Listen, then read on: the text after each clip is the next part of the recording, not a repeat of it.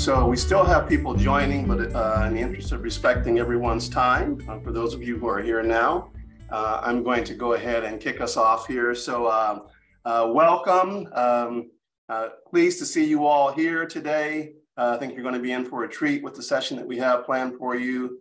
for those of you who I don't know, I am Melvin Smith.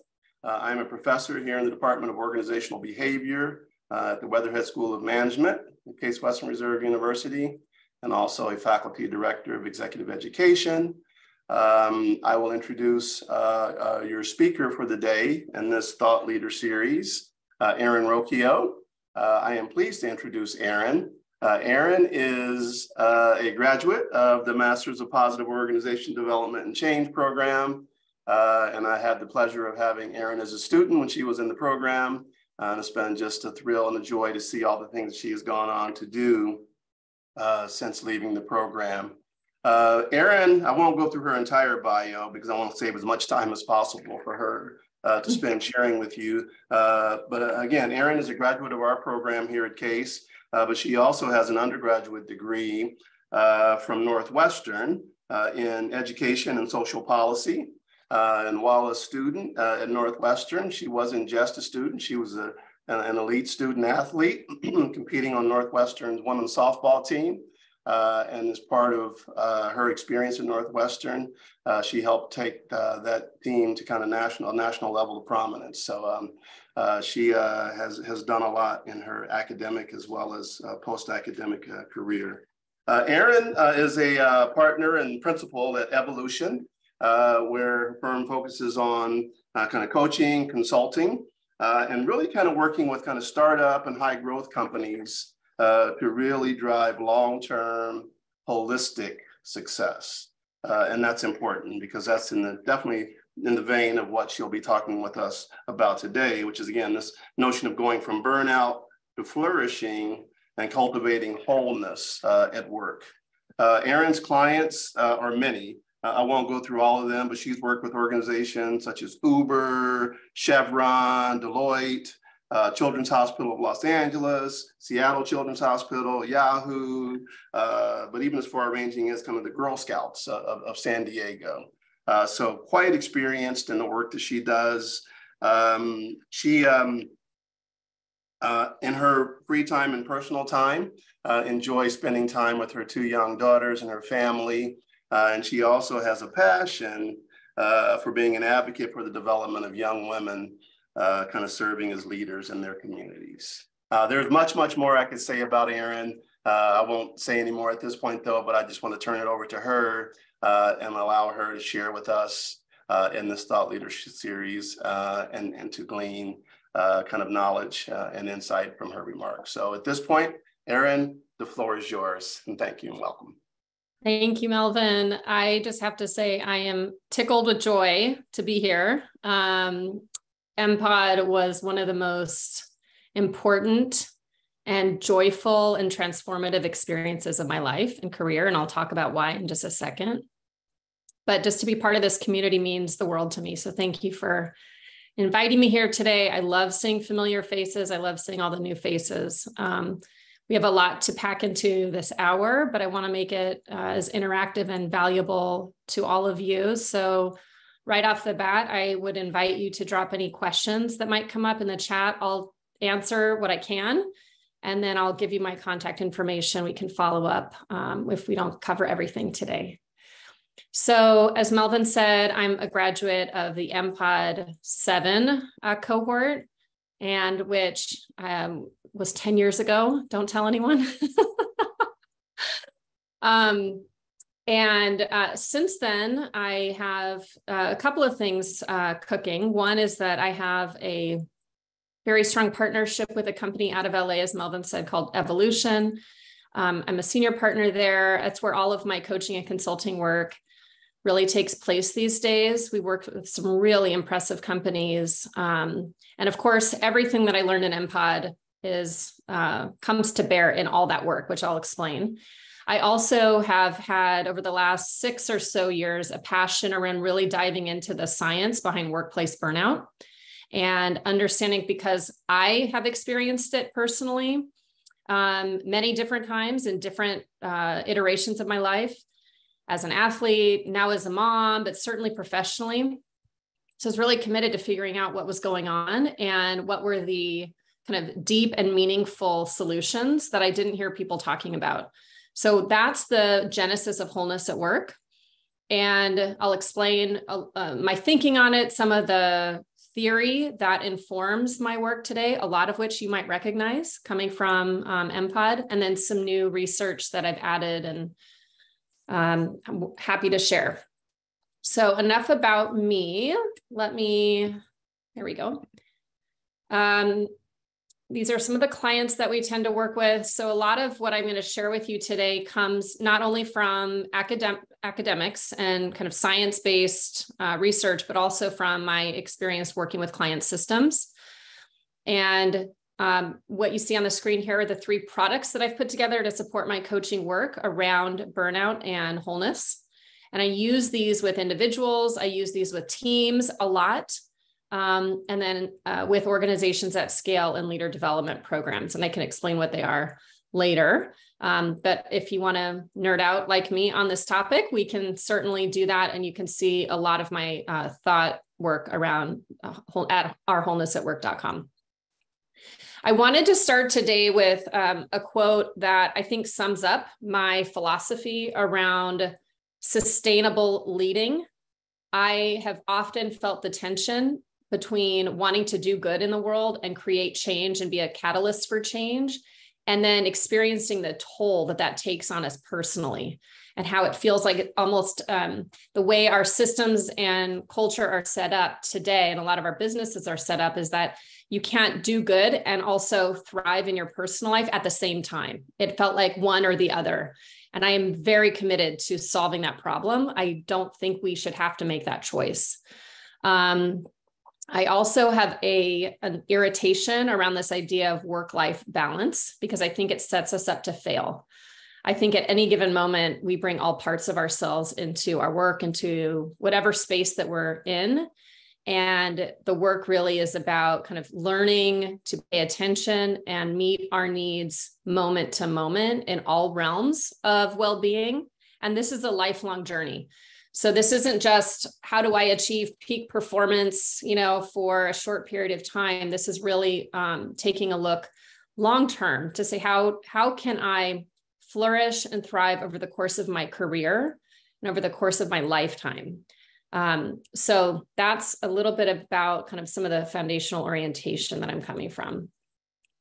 So as I've hinted at already, a lot of what you're about to see is rooted in some of the foundations that some of you might recognize if you're a graduate already of the MPOD program or if you're considering MPOD. But there really truly are three huge ideas that have changed my life. Um, and you'll see them embedded. The intentional change theory, positive coaching. Melvin, congrats on your new book. I recommend it to everybody. um, intentional change theory informs absolutely every single client interaction that I have. And it works, it's very effective, um, and it's clear. So that's rooted in here in this foundation. Um, the other thing, uh, Richard Boyatzis' work around resonance and renewal shows up here. I'll talk about that in a second. I found that really compelling to understand the, the link between our own mental, physical, spiritual health, and our ability to show up with emotional intelligence. And everything that we continue to discover in um, neuroscience just reinforces these ideas. And so I found that incredibly important. And then, of course, appreciative inquiry. You know, I've been doing appreciative inquiry type work now since I graduated 10 years ago in small pockets um, to large scale summits. And all of that is a part of this idea of sustainable, healthy leaders and sustainable culture. So those are three big ideas. There are people here in this room today that I hold very dear, um, absolutely incredible human beings that I've met and continue to be in touch with through this program. And then the last thing I'll just say, and then I'll dive into wholeness at work a bit, is um, I think one of the most, uh, this may sound obvious to other people, but one of the most surprising to me outcomes is the um, sense of confidence that I got that almost I feel like no one will ever be able to take away from me because of the depth of competence that I received in my MPOD program. Um, and it's very clear. I'm like, whatever the problem is, we can figure it out because I know I've got this strong foundation. And so I just think that's so invaluable and um, can't say enough about the value and importance of this work. Um, and I've sent many people to MPOD as well, and I hope to continue doing so. Um, so with that, and yes, I see a question. I absolutely have a book list, uh, and we'll speak to that as well. So finding wholeness at work, I'm going to spare you because of our time today. I'm going to spare you my long journey um, personally, but I'll share with you some of the research and um, tools and frameworks that I have come to develop around this idea of wholeness. And you'll notice that I'm using that word specifically or intentionally. Wholeness and well being are related, but they're not the same thing. And so I'm going to talk about well being, but wholeness to me is broader um, well being is a little tricky because it kind of conveys a binary of like, I'm either well or I'm not well. And in the course of our life, we are both, right? And I want to know how do we hold and welcome all of it and still thrive and flourish in our work. So, the first thing I want to do is distinguish stress versus burnout. Um, many people when they come to me talk about you know temporary stress or god i'm having a real crunch time. What do i do? And you know there's a ton of um, data that says for short term stress is important uh, to enhancing our performance actually.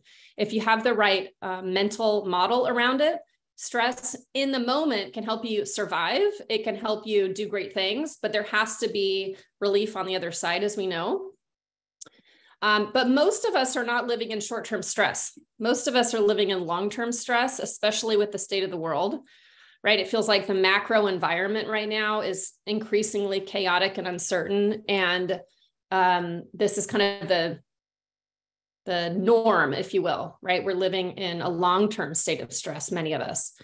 Burnout is distinct. There are three specific symptoms at the individual level that I'll talk about today. Um, it's really important that we don't use those terms loosely, that we be a little disciplined because there are really important and clear solutions for workplace burnout um, that are distinct from self care, stress management, that sort of thing.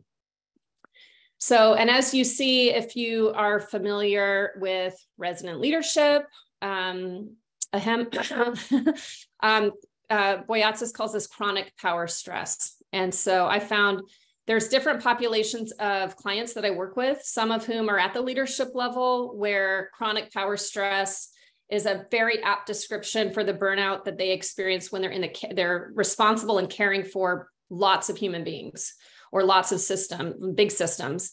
There's also burnout that happens obviously when you don't hold that level of leadership or responsibility um, and this is still very applicable Burnout specifically is defined by Christine Maslach as um, lost energy, lost enthusiasm, and lost confidence. Uh, chronic stress over time has significant impact, as we know, on our physical well being, on our mental health, and actually contributes to the downward spiral of performance.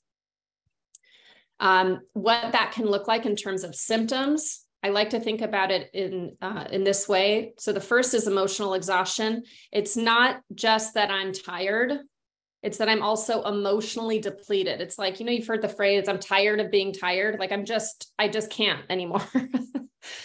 I'm so physically depleted. My emotional capacity is nil. Okay, this is where we see that gap or that connection point to EQ as well. I just can't even show up mindfully or thoughtfully because I'm so depleted. The other symptom, symptom two, is that we start to become cynical in that we might think it's always going to be this way. I have no power to change the conditions that are causing me chronic stress or burnout. We might predict the worst. And then what we start to do if we're in severe burnout is we start to withdraw from relationships and the types of activities that would renew us. Okay. We, we start to kind of pull away especially at work. And then that happens. And now we start to see reduced efficacy. Our performance is now impacted. and it feeds on itself as a negative spiral. And so the other interesting thing when I work with uh, client groups is they'll say, wow, I never realized that my self doubt or my imposter syndrome could have been connected to my level of burnout. And it absolutely is. It's a great place of inquiry, great um, place to, to look. Okay, so there's three clear burnout symptoms at the individual level. Um, and so I wanted to kind of mark them here. The other question that plagued me uh, as I was practicing and working, and this topic kept coming up for myself and for so many. The very best research that I could find out there really pointed to engagement as like the creme de la creme. Like if you have engaged an engaged workforce or you're feeling engaged at work, you've made it. and yes, engagement's wonderful. We want to have it, we want to feel it. But for me, it was not sufficient. So, as you all know, engagement is defined by having um, energy, right? An excess of energy, discretionary effort that I can then give back to my workplace. I'm involved. I want to say yes. And I'm effective. So, quite distinct from the three symptoms of burnout I just described. But again, on my quest for wholeness, I said there's got to be a positive future that we can live into that's actually going to move me beyond engagement something that's more sustainable and long term. And so for me, um, I define wholeness in this way. Wholeness means not only do I have energy moment to moment, but I'm actively practicing renewal. I'm actively taking care of my needs moment to moment, day to day. And, and uh, listen, I'm a single working mom. I know how difficult this is. This is like five minutes at a time. And I'll talk about some practices that we can all, um, I want to leave you with before we're done here. But renewal does not have to be big, expensive, time consuming. It is really moment to moment, which requires that we pay attention to ourselves and have a level of self awareness moment to moment. The second aspect of wholeness is flourishing. So when we get overly focused on one domain of our life, like work, um, like me, right? fellow workaholic, um, we absolutely are more prone to the left side of the spectrum. So I am interested in how we create flourishing in all of the domains of our life that are important to us. What does that look like? That we each have our own answer for that. Um, so that's like a constant uh, quest, if you will. It's never a place we've achieved, or we're never. It's not static, but we're moving towards flourishing. And then the third piece of wholeness to me is that we're always on the quest for learning and self mastery. So you'll also see this in some of the um, language of our MPOD folks is to have this orientation towards growth and learning and to, to discovery. And for me, that's critical to be able to move into a space of wholeness in different domains of our life. Okay.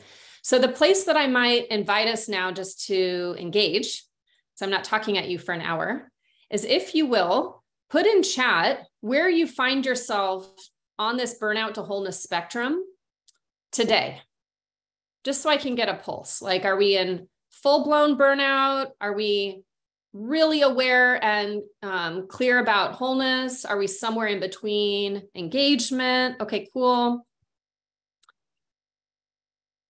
Great.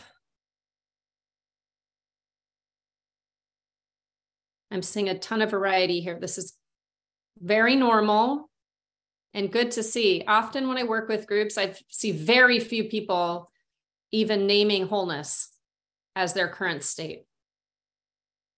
Yeah. Beautiful.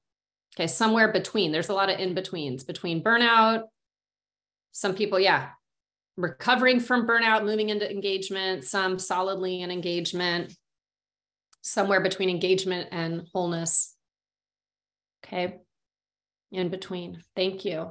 Okay. So um, just make note of that. And as we go through today, I'll talk about how you might be able to move yourself from left to right. And no, I want to say too, this is not linear. One of the other key points is that for me, I found burnout is cyclical.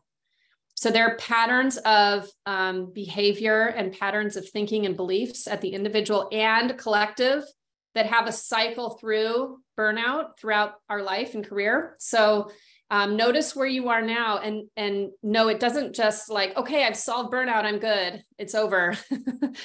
there are things we always have to be aware of, myself included, so that we um, recognize the signs and we tend to our needs before we go off the burnout cliff, if you will. Okay, great. So another important framework, um, this comes out of integral theory, which I don't believe we actually dove into it in depth at MPOD, but something that I've done extensively since in my own um, work. Uh, so integral theory, essentially one of the models in integral theory, and I'm going to spare you because it's very heady, um, but it looks at everything at three levels and says that at any given moment, there's a reality occurring at the individual level, at the interpersonal or cultural level, and at the systems and structures level. Um, at evolution, we call that I, we, it. Uh, if you're uh, an integral nerd, it, it's actually four quadrants. We've condensed it and its into this third. But I find this really important in the topic of burnout and wholeness because burnout is often described today in the literature as occurring primarily, until recently, primarily at the I level. Like you've failed as an individual because you're not resilient enough. So we do a ton of programs on resilience, but yet it's not the individual who's causing a lot of problems, right? They're at the effect of a broken system, let's say, or a toxic workplace culture. And so in my practice, what I've come to do is evaluate burnout to wholeness at all of these dimensions. And that gives us a more accurate map of where we can create change. So, sneak peek to the end. If I could have it all my way, wholeness would look like we would all have strength and practice and structures for self renewal. So we're supporting ourselves at the individual level. We would have culture, both in the workplace and outside of the workplace, where we had communities that nurtured us, communities of care, where we could bring our whole self and feel seen and heard and acknowledged um, and then we also had systems that were rehumanized. Most of our workplace systems and structures today are built for robots. And unfortunately, it feels like it's only getting worse. um, and we can save a conversation around AI, uh, artificial intelligence AI for another day, because I'm not prepared to talk about that yet. But the at the it level, ideally, we, especially if you're in a position of power, to find all the different places you can to rehumanize and redesign systems to better support human needs because they're not set up for human needs right now. So this is the ultimate. That's the end game that I would love. That's that's my vision for wholeness at work. Okay, so another exercise here coming in uh, here that I'd like to offer so the woman that I mentioned earlier on, Christine Maslach, is kind of the pre- preeminent researcher on workplace burnout, along with some of her colleagues. And they have a really fantastic tool called the Maslach Burnout Inventory and Areas of Worklife Survey. And essentially, they point to six evidence based domains that directly impact an individual's experience of burnout. So, and these are the six and I'm going to define them for you. And then I'd love for you to just maybe do a quick evaluation like which of these feel strong, which of these might be an opportunity. Most of us, when we think about the contributors to burnout, we think about workload. I have too much to do, I don't have enough time. Um, for Maslach, workload here is not just about a kind of a large quantity of work, but it's saying that the amount of work that you're responsible for is inhuman to accomplish. So it's going beyond human limits. Um, it's not just like, oh, I have this intense project and I have to stretch for a short period of time and I can come back to some level of norm. It is like I'm always doing 25 jobs. Right. And how many of us have left a, a job and then they had to hire like four more people to do it instead of you? Right. That's how you know, okay, workload was was a problem. Now, interestingly, some of these other domains um, I'm finding are much more Yes. And I used scarf model all the time, by the way. I love it. Um, yes, they map beautifully. So the other domain that's been very sneaky, there's a couple of here you can see have definitely been impacted by COVID. But the next one is control. So a lot of people are prone to workplace burnout because they don't have the opportunity or privilege to make decisions that control their destiny and or fulfill their job responsibilities. So if I know that I've got a huge amount of work to do and I can't impact the things that I think I need to be effective at that job, I'm that lack of control is likely to send me into burnout. The third is reward. We need to have sufficient financial and social recognition for the contributions we make to our work. Okay, especially if we tend to be over givers. Um, I've talked a little bit about community, but I want to say again, this can be something that organizations intentionally build. And of course, I'm seeing a lot of progressive organizations today be very mindful about building community and belonging. Community here says there's a social environment and culture that's supportive and positive. If we don't have a supportive, positive work environment where people feel like they belong to a community of trusting colleagues, burnout's going to be at play. Fairness is inequity in the system. It's a lack of transparency around who gets access to power and reward. And it also is when folks feel confused about values. So we say this, but you're asking me to do this other thing. Um, there's some uh, talk in the burnout world around moral moral injury, where I'm being asked to do something that goes against my values. That describes the last domain here. So the difference between my personal values, things that I hold meaning around, um, if my workplace is asking me to do things that are counter to something that feels integrous to me or important to me, strong driver of workplace burnout. That's unsustainable. So I when a I coach a lot of leaders where they say, "Yeah, well, my values don't really fit this company anymore. We've changed, yada yada." Like that's fine. I'm not suggesting you leave tomorrow, but that's not a sustainable environment for someone who's looking to experience wholeness. Okay. So quickly, would love to just see maybe in chat, would love to see one word uh, where you say, gosh, this is going great for me in my role or my work experience. And this one feels like a gap. And while you're doing that, I'm going to answer a question in chat connection between remote work patterns. Yes. Remote work has really impacted community in a significant way. It's impacted how people feel rewarded. Um, I think in many ways, remote work has in- improved fairness and equity, especially for caregivers. So I've done a lot uh, with moms, with um, different underrepresented groups. I think remote work is actually better on the fairness and values front for many, but we have to be super intentional around how we build community and how we're managing workload when we can't see people. And also control, like we need to um, be extra conscious that we're transparent with decision making, um, giving people autonomy where we can. Okay, reward and control gaps. Let me just see here. Gap around values. Yeah. Yep. Yeah, if values are at odds, you're certainly not going to want to be inclined to build community there, right? Um, yep. Workload, gap and reward. Yep. Okay, good yeah, again, I love the variety uh, and diversity and responses here. Okay, beautiful. Yeah, so I, this is a place for you to look. Um, all of this research is available online. Um, Christine Maslach's survey is available at Mindgarden, I believe. That's where I send a lot of clients, and it's wonderful. So, really encourage you to, to use it. Okay, so I know well being and wholeness, I said at the outset, are not the same thing, but I also want to, yes, I will share the link. Absolutely. Um, I also want to paint a picture for a broader view of what well being can look like in the workplace. This model comes from a partner of mine in London. It is much more comprehensive than anything I've seen in the United States, which is why I continue to use it.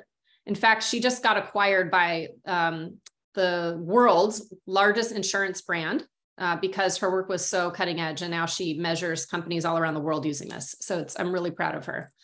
Um, so you'll notice again some overlap with some of the aws um, burnout domains around like what's going to send you into burnout. But also we want to think about actively building sufficiency in these domains of well-being so in the states usually we think of well-being as two of these categories physical health and if we're really, you know, on it, mental and emotional health, maybe.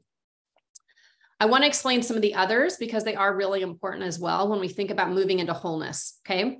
So let me start with physical health. Physical health does not, and we really could spend a whole nother three hours talking about um, societal expectations for the way our bodies look and move. I want to be really conscious of the fact that physical health to me and this uh, conversation is not about any shoulds.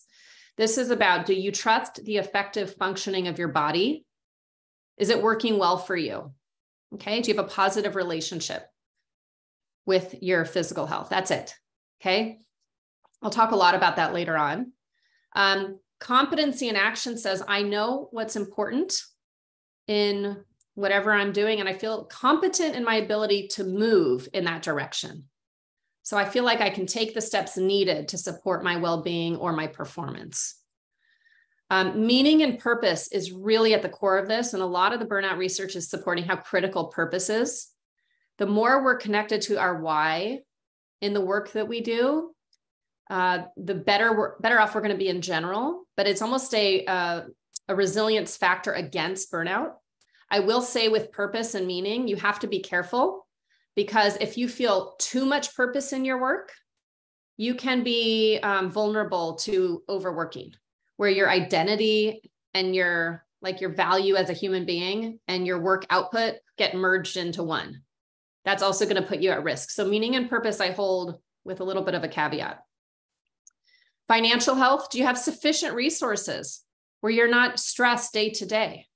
about your next meal, having a roof over your head. That's critical to well-being in our society. Networks and community. Do you have relationship with the broader community around you and the people that hold influence and power? For example, do you how many business owners do you know in your community? If you needed to go get XYZ resource, who would you go to? Do you have your people that you can can access? So networks and community is big. And then lastly, here is relationship. This is our intimate familial relationship. so people in our close circle. Are those positive and supportive or are those draining and or harmful? Certainly, we have to tend to the well-being of those relationships if we're going to be well and whole um, overall. Excuse me. So the way that I use this, and you're always welcome to do this now, is to simply look at uh, like grade yourself one to 10, 10 being I feel very full and sufficient in that domain. One, haven't even thought about it. It's completely missing, right? and not everything needs to be a 10 for you to be whole and well. Oh, thank you. A mental and emotional health. I didn't talk about that. Thank you. Mental and emotional health is super important here to well being because it's not um, saying that you feel sane and stable at all times. It's recognizing that human beings have a variety of emotional experiences and really that you have resources when you're not feel, feeling well emotionally or mentally. You have places to go and people to call to support you in that recovery. Okay it's allowing for the full range of, of uh, human experience, but it's about, you can see, feeling connected and supported when you need resources. Okay. Again, this is not anyone else. Um, it's not for anyone else to judge your level of well being. This is for you to self assess.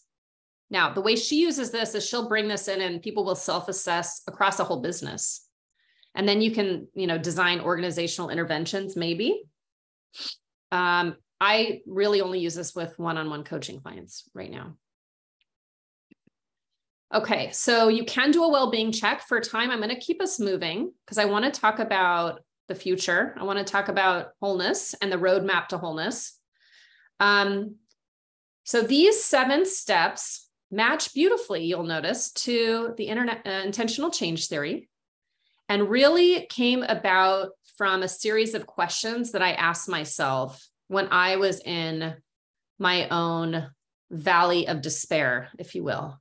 I often say, like, never waste a good existential crisis because this is the result of my existential crisis. and I know other people who have gone on to live very beautiful, creative lives uh, as a result of those valleys of despair.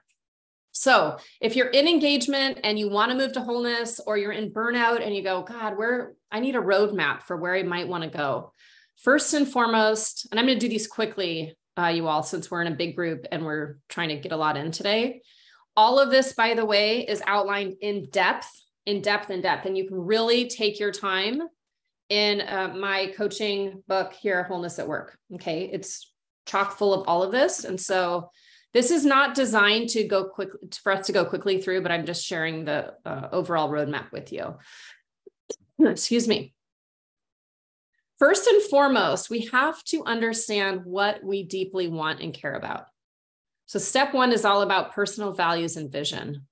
Okay. And I know I'm preaching to the choir here about, about that. Most people, it's surprising to me actually, because I care so deeply about values and vision. How many people I work with, when I say, What do you really want? They're like, I have no idea. I could spend six months coaching someone on that, that one step, that one question. It's really important um, and powerful. Step two says, I've got to get honest and real with myself. And this is where we might in, you know, introduce feedback. We might say, let me do some kind of really deep self-inquiry. What's the gap between my current state and what I really want? Step three here is learning how to clear your mechanism. If anybody else is a Bull Durham fan, we've got to clear the mechanism of noise and get really, really clear on what our focus is given our vision. So often, this is where we might do some work um, early on when I mentioned IWEA, we might do some it level work around like what are the priorities of my business? What are the priorities of my team? What are all the things that are nagging at me all day long that I probably need to delegate, create different structures around so they're getting handled, but it's not constantly clogging up my mental system. Step four is about building a team around you. Um, I've spent a lot of years in the personal development realm understanding how to build and operate in collaborative teams. I do absolutely everything in a team. Now, um, I do a lot on my own as well, but when you're trying to think about flourishing over time, given all the things we've talked about already, having an aligned team, both in the workplace and outside of the workplace, is critical. So figure out who your team is, right? Besides the obvious ones. Five is this is a lifelong commitment to practice. What are the practices that are going to support me in all the domains of my life? I'll talk about that in a second. I call them wholeness practices. And then what are the mechanisms ongoingly for support and accountability? And then lastly, for those that are really committed to this, it is how do I continue to create healthy, flourishing workplace culture wherever I'm in, no matter what space I'm in, I'm creating and embodying healthy culture. Okay, so this is a lot to pack into a single slide, but there, um, this is the ideal for me around how we do this. Um, in resonant leadership, you will find some really beautiful stuff about what renewal looks like and means. And so you'll see that reflected here. And then I shared how I've built on that is that, and what I've shared earlier, and somebody put this in the chat um, vacation is insufficient for renewal at the level we're talking about. Okay, I love vacation, I love massage. Self care, in and of itself, whatever you define that to be, is insufficient when we're talking about burnout or we're talking about wanting to get into a space of wholeness um, in all dimensions and it needs to include all of you. So that's why when I think about wholeness, it's really the work is integrating all aspects of ourselves that need tending. like a like a garden or a child. Okay, we're so good at caring for these other things and often neglect our own needs in all these dimensions. So we know mindfulness works, we know compassion works, and we know that there are some critical components of physical self care. So here are some things, and I filled this out more deeply just so you can get a sense. A lot of people are like, oh, I hate meditating, I can't sit still. That's fine. There's lots of ways to practice mindfulness, even while you're doing your dishes, right? Um, basic breath work, um, journaling, I've done a lot of work since MPOD around um, understanding self compassion. There's a beautiful body of work by Dr. Kristin Neff at selfcompassion.org. I've done her trainings. It's phenomenal and is probably one of the most important things on this list I found to create a sense of wholeness over time is healing and um, nourishing that relationship to self. And then, of course, there are basics that we need to keep our physical vehicle strong, right? And and functioning. And so some of these you're like, of course, Erin, those are obvious, but many of us neglect them for many good reasons. And all I will say is if you treat your body with a little bit of the self-compassion I just talked about, such that you're feeding it well, you're moving it, you're resting it when it needs rest, you're loving on it when it needs love, you're making sure you're taking care of yourself with physicians appropriately. Like we all have individual needs around this. Um, but prioritize that. That's going to be a critical practice again over the course of your life. So I'd love to see if there's, um, and again, I with large groups like this, chat's fabulous. If you can just drop in one thing that you go, oh, hadn't considered that. That's something, a practice I might want to take on to support my own wholeness. What's something from here that you go, oh, I'd like to do that maybe going forward, or even in the next week?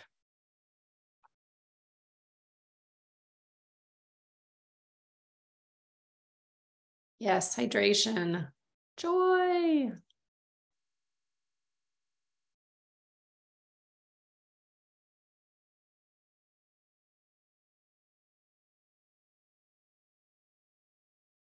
Love that. Sleep. Spiritual practice is fabulous.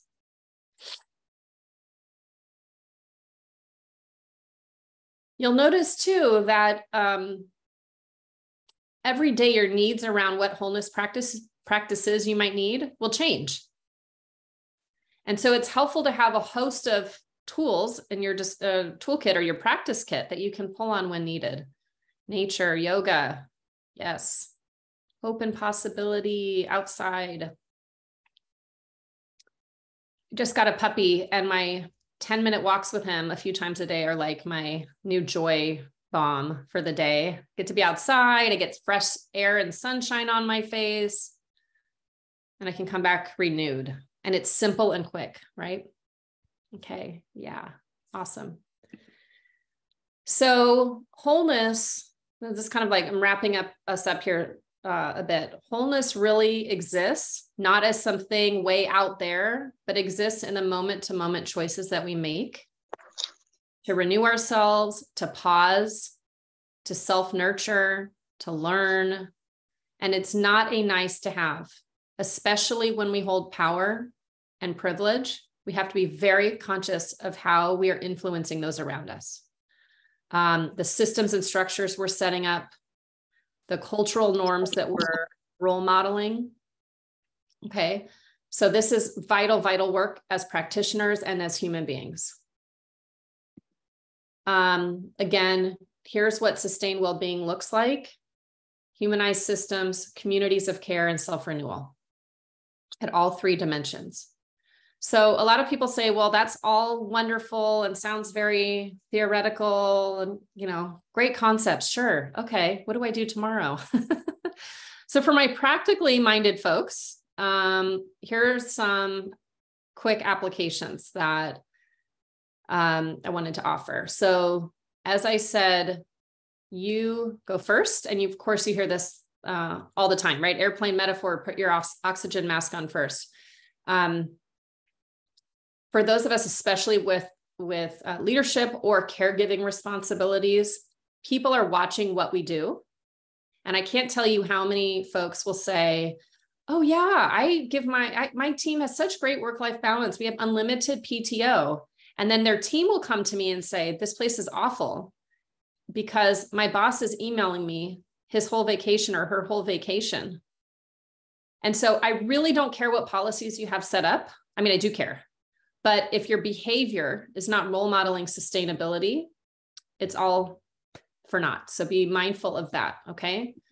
When you are in a leadership role, ask your team for what their immediate job stressors are and do what you can to solve them. it's just simple. Like there are very clear low hanging fruit items that I bet you people in your world will go, oh, if you just fix this, this would be great. Um, not everything is that simple, but there are things that we can do. I teach workshops on this uh, priority setting and boundaries. How do we make sure our yeses are yes and our no's are no? And how do we know the difference somatically in our bodies? How do we reflect them with how we spend our time and how we're working? Um, where possible, give away control and autonomy. Give it away. We're working from a power with model here, not power over. The more power I can give away to help you do your job well and relinquish control. Now, not over everything, of course. Be appropriate and mindful, but where possible, especially around how people are spending their time. This is critical. Um, having healthy, effective meetings. It sounds so basic, but you'd be amazed at how many people don't do that well, right? And your calendar I, I encourage folks to always be um, kind of doing a bit of a calendar hygiene. Is this reflecting my priorities? Is this reflecting space for me and my renewal practices? Is this is my calendar a reflection of my values? Okay. If not, great. That's we're constantly looking at that. There's no judgment. It's just a, a place to look. Build community support and connections in the pandemic, especially, and this is a, a nod to remote work, it is vital that we create space for genuine conversation about pe- how people are actually doing. Okay. And making it safe for them to, to really share their response. Um, how are you really doing? What support can I offer you? What do you need? How can I help you get that? Okay. Lastly, learning and development. I know, again, I'm preaching to the choir here, but is vital for our brains to get out of burnout and survival and into a space of hope and possibility. Um, one of the things I discovered in the pandemic was how many times people would say, Oh, I just needed my brain to have a break from thinking about all the crap so I could come and like be renewed intellectually. Okay. So um, the more we can provide that to people around us, the better. So, as I said, all of this and more is reflected in the um, product in the center, wholeness at work. That's what all of this is rooted in. It's designed as a self guided coaching program. It's also really great to have as a tool for coaches if you're working with a client who's in burnout. Everything you will need's there. Um, I will include after this some additional links including the burnout survey that I recommend, including some books. There's also a whole host of books inside the back of Wholeness at Work that I recommend around a, a ton of topics. And yes, many MPOD professors are listed there. Sorry, I can't help it. I just, I really do love MPOD. I'm not making that up. Um, for those of you who are like, oh, I want to get my feet wet and learn a little bit more, I created this uh, brief primer, Welcome to Wholeness at Work. And then my most favorite product is the um, and I love all my product babies, but my most favorite one is the new one. It's a card deck and it has practices for renewal specific to your Enneagram type. So for those of you that are Enneagram nerds like me, this is really fun. There's 108 mindfulness uh, practices or wholeness practices, quite honestly, that hit all the dimensions that we talked about. And um, there's 12 by Enneagram type but they all are great. If you do, they're, you know, all the tools are useful and valuable. So, and uh, you can take them wherever you go. Another great tool I use these with teams a lot. So, teams that are struggling with burnout, there's a ton of good stuff that you can use there. So, I want to leave a few minutes for questions. Um, you can also email me. I know it's confusing. I have two emails, but start with the first one, it's the easiest one. But the other one's also available all of my work, as I said, is on um, ourwholenessatwork.com. And then you can see what my team and I are up to around this topic. And then more broadly, like all of our OD and coaching work is at evolution.team. Um, thank you, Laura. So proud to know you. Um, I just love you guys so much. Card decks, yes. So I'm going to be quiet now for a second, and I'd love to see if anybody has any questions.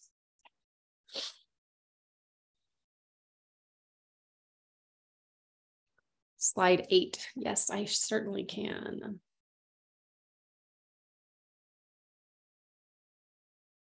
Yes. Great. So here are the distinctions between stress and burnout. There's a fabulous TED talk, by the way, on the benefit of stress. Um, and I forget her name. I do actually include it in the workbook. i have to find it. It's been a minute since I watched it, but um, a really important distinction to make between stress and burnout. Yeah, the Enneagram test that I, so I'll say briefly, I do a ton on the Enneagram. I actually have a free Enneagram community office hours event tomorrow and I do them every month. So if you're curious about the Enneagram, go to my website. There's a whole host of Enneagram stuff there. Um, the test that I use is the RHETI, R H E T I, with Enneagram Institute. Um, it's not perfect, it's statistically valid. I often have to do some coaching around it for folks that are tied. So I don't think any survey is perfect. I think the best way to type yourself in the Enneagram is through self inquiry and working with a, a skilled, competent Enneagram coach, not someone who just read a book, please, because there's a lot of people out there doing that. Um, yes, Kelly McGonigal, thank you so much. Brilliant. Coaching and therapy. Yes. Um, when do I refer a client to therapy for burnout? I refer a client to therapy when I see um, things that certainly fall outside the realm of coaching. So if, if I'm just assessing for burnout and working on how that's showing up in the workplace, I will do that. But I often and almost exclusively, if someone's in extreme burnout, I make sure I'm working in parallel with a therapist because often there's other symptoms of depression, anxiety, a whole host of other mental health factors that have to be addressed that we are not licensed to deal with. Um, so almost every coaching client I work with it's in any kind of extreme pain like that, that's those tracks are working in tandem. Just really important to me. I don't want to take that on. Um, yeah, you're welcome. Thank you.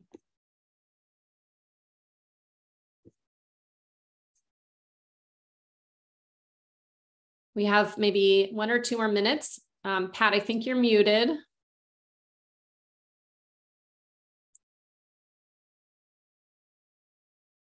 Thank you so much, everyone, for being here and your awesome engagement and questions. So, Erin, as we're coming close to the one o'clock hour, I just want to, um, out of respect for everybody's time, give a few comments here. Uh, first of all, um, I want everyone to know that this record this has all been recorded, and I will be sending the link to everybody. And so please for your viewing pleasure, but also to share with others. Um, I also would encourage you to contact Erin with any other questions you might have, and then watch for our new monthly newsletter, the Thought Leader Insights, where we will continue this conversation with Erin and also include some commentary from Melvin Smith, um, who graciously agreed to be with us today. Thank you, Melvin. I just want to thank you, Erin, for uh, presenting today another inspiring talk for the Thought Leaders series.